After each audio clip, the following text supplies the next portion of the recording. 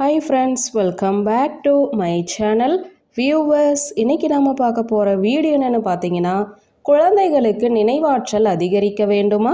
வாங்க இன்னைக்கு அதை பற்றி பார்க்கலாம்.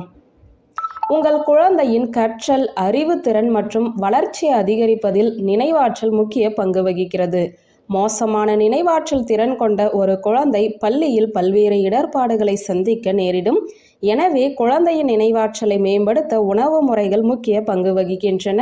அவற்றில் சிலவற்றை தான் பார்க்க போகிறோம். நினைவாற்றல் நாளுக்கு நாள் வளர வல்லாரை கீரையை நிழலில் காய வைத்து பொடித்து அதிகாலையில் தினமும் ஒரு ஸ்பூன் சாப்பிட்டு வந்தால் நினைவாற்றல் அதிகமாகும். நினைவாற்றல் வளர வெண்ணெயுடன் வில்வ பழத்தின் உட்பகுதியை எடுத்து சிறிது சர்க்கரை சேர்த்து சாப்பிட்டு வர மறதி குறைந்து நினைவாற்றல் வளரும்.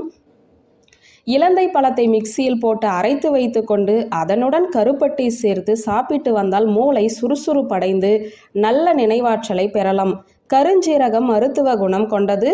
பெரியவர்கள் கருஞ்சீரகத்தின் பெருமையை எடுத்துக்காட்ட எடுத்துக்காட்ட சாவை தவிர மற்ற அனைத்து நோய்களுக்கும் கருஞ்சீரகத்தை மருந்தாக பயன்படுத்தலாம் என சொல்லுவார்கள்.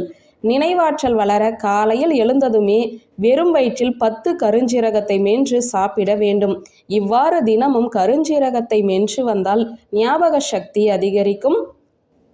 தினமும் காலை ஒரு தேக்கரண்டி நாயுருவி வேரின் சாறுடன் ஒரு ஸ்பூன் கரிசலாங்கண்ணி வேரின் சாறை சேர்த்து பருகினால் மூளை நரம்பு பலமடைந்து நினைவாற்றல் பெருகும்.